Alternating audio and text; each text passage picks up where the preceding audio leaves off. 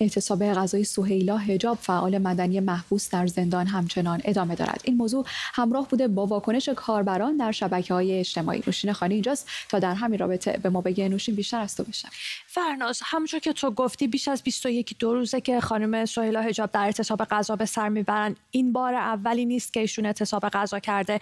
پارسال فکر می‌کنم در شهریور ما هم ایشون اعتصاب کردن. خواسته هایی داشتن مطالباتی داشتن که بهشون وعده داده شد که اعتصاب غذاش رو پایان بده و این اتفاق میفته که نشد. بر همین ایشون دوباره اعتصاب غذا کردن. کاربرها دارن ابراز نگرانی می‌کنن نسبت به وضعیت سهیلا حجاب. اگه موافقی جزئیات بیشتر رو با هم مرور کنیم.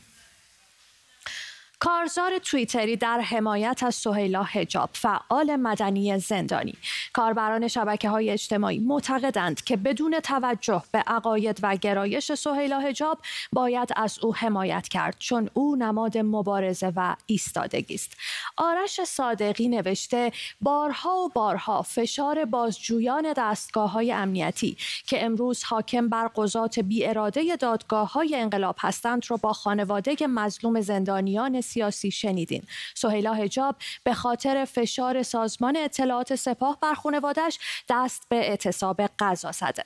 جمشید برزگر هم میگه آزادی تمام زندانیان سیاسی باید به خواسته فوری و فراگیر تبدیل بشه. جان سهیلا هجاب در خطره. وکیل مدافعی که در اعتصاب قضا به سر می‌بره و باید هرچه سریعتر آزاد بشه.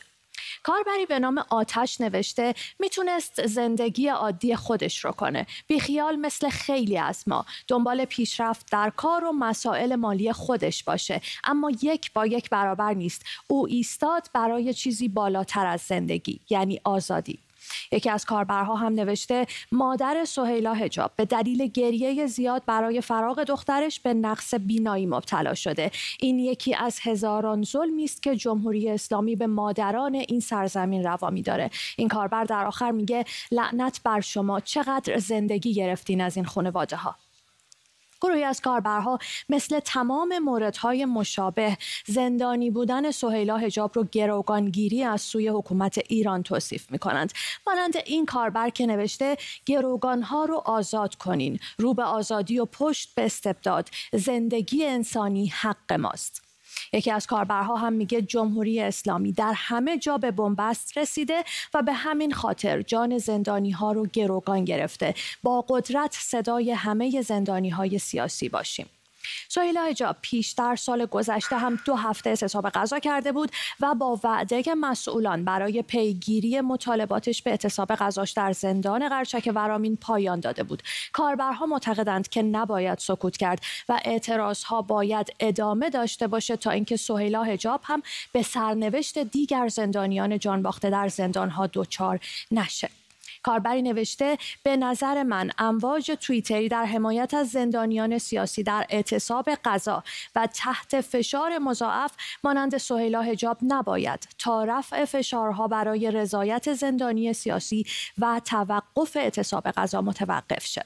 توماج صالحی میگه آخرین سنگر زندانی اعتصاب قضاست و در نهایت هم کاربری نوشت اونچه باعث شد سهیلا هجاب از فرصتهای طلایی خود در خرابه های دستگاه قضایی چشم بپوشه و وجدان ادالتخواه و بیدار خود رو به زنجیر عافیت نکشه از قلبی سرچشمه می‌گیره که سرشار از عشق به میهن و متعهد به آرمانهای انسانی است این کاربر در آخر می‌پرسه چگونه چنین باوری را می‌توان به بند کشید؟